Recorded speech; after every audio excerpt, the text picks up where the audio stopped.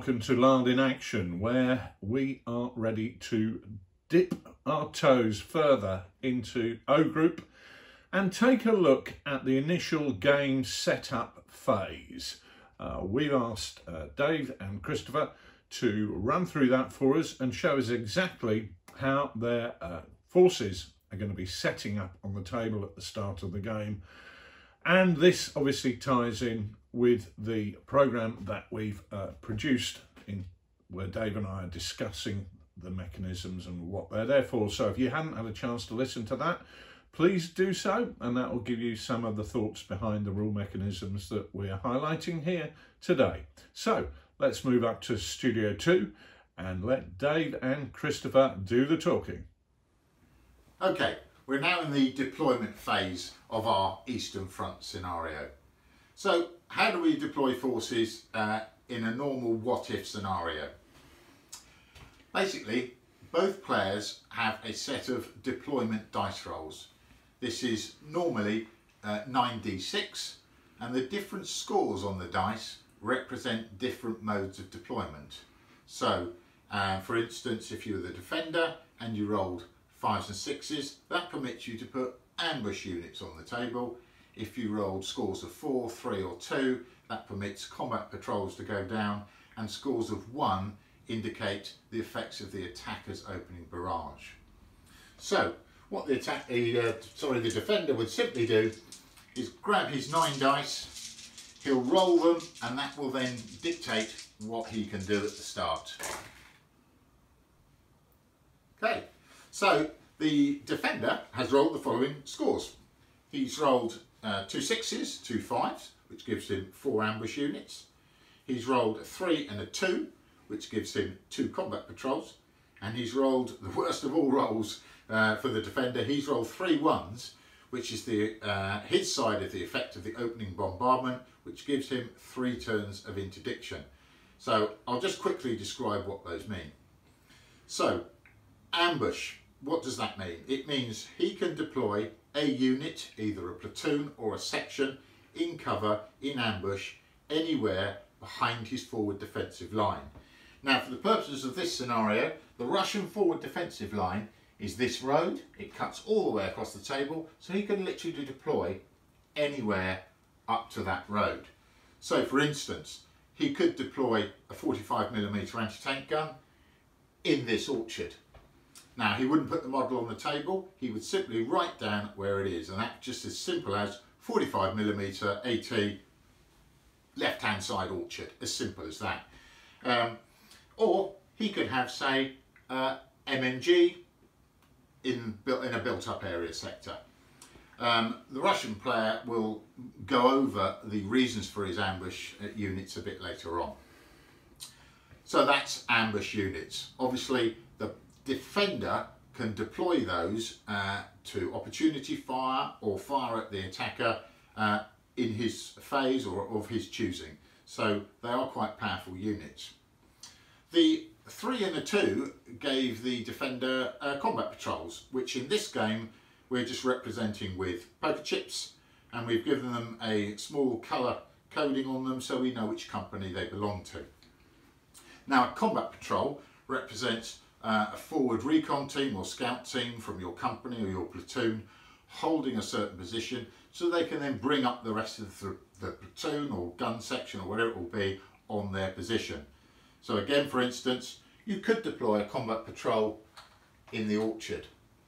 That means in the following turns, the Russian defender could deploy a platoon onto that combat patrol. You can deploy them pretty much where you want. Uh, there's a maximum of three combat patrols per company. Obviously the Russian player, he's only got two, so he's a bit limited. Finally, we come to scores of one. Now, ones for the defender are interdiction turns. This means that for the first three turns, when he's attempting to deploy units onto a combat patrol, so I'll put that back there in the orchard, the attacker gets an opportunity to hinder that deployment and it's as simple as a d6 roll. If the attacker is successful, the deployment fails and the order is lost. If the attacker is unsuccessful, then their deployment can go ahead as normal. So it just represents the uh, bombardment on your rear lines or your, your forward uh, uh, trenches may have caught your platoons off guard and they're just slower to deploy into forward positions. So that covers the defender's dice rolls. Okay, so we now move to the uh, German deployment dice rolls. This is very similar. So what's the German rolled? He's rolled uh, six and a five. So instead of ambush units, the attacking player gets actual on-table units. So he can deploy uh, full platoons or sections, whatever he wants. Now we've only got two, which represent perhaps units that have been on the start line ready to go, or maybe even slightly ahead of schedule. You can deploy those where you wish, maybe with one in each company, bearing in mind the Germans have got one and two companies up. Um, you can put them where you like. The only uh, issue to bear in mind for the attackers is their start line. Now this is always 12 inches in and all attacking units, whatever they are, must start behind their start line. So you could put them wherever you wished as long as they were no more than 12 inches forward. Next, the German player rolled five combat patrols. Now, as we've discussed before, we know what combat patrols can do. It's no different for the attacker. So he'll have a good amount of those which he can split between the two companies. Now, the maximum a company commander can deploy at any one time is three. So maybe it would be three to one company and two to two company. Finally, uh, the scores of one represent the casualties on the Russians inflicted by the German opening barrage. Now, the first score of one indicates that the Russians have lost one infantry platoon from their basic battalion. Now, if you recall from the previous video, the Russians had a full battalion. So now one of their companies will be reduced by one platoon and that's for the Russian player to decide where that loss comes from. There is a special rule for Russians losing men in an opening barrage, but I'll let the Russian player cover that. A second one represents disruption to the HQ. Now, in the beginning of a game, an attacking HQ starts with a total HQ order of three, and the defenders start with two, bearing in mind their maximum is both six. So the second one will reduce the Russian battalion HQ order total by one, reducing it to one, which just represents perhaps disruption to the HQ and the command and control process. And that is what's happened to the Russians. Alright, so for the Russian deployment, the first thing is to deploy your company commanders just to help distinguish where the boundaries are. So for two company who will be defending the left hand side of the road, I'll place him just behind the orchard here. And for one company who are defending the right hand side of the road, I'll put him in between the hills behind the T-34 wreckage for a bit of cover. Now I do have four ambush units. The dugout does give me an automatic ambush if I want to put something in there, so that would be five in total. And for both sides, the foo is also an automatic ambush. So for ease of play, I put him up on the hill here, just so we can see where he is. Now, I'm actually going to convert one of my ambush units into a combat patrol. So take one dice, move it to a 4, doesn't matter. The reason why I'm doing this is because there's not a lot of high ground that isn't blocked off by forests or other hills. So potentially it isn't useful to have a lot of units already up in potentially areas where there isn't good line of sight. So I've got three ambush units, potentially four if I want to put one in the dugout. So an example of where I want to put one ambush unit is this forward forest right here. Mainly because I have three turns of interdiction. Now, I need to hold off the Germans as long as possible to stop him penetrating and make it even more difficult for me to bring on reserves. So if I can hold him near my uh, forward defensive line for as long as possible, it will mean the time he can penetrate through, the interdiction would have worn off, and it'd be a lot easier for me to bring on troops on. And I do have therefore three combat patrols, as I converted an ambush into a combat patrol.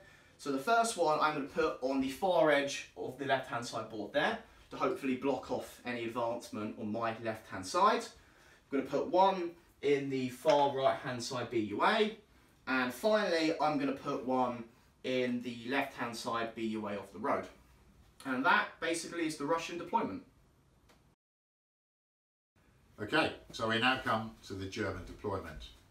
Now the Germans, as the attackers, will go second. They'll deploy after the Russians, which gives the attackers a, a little bit of an advantage.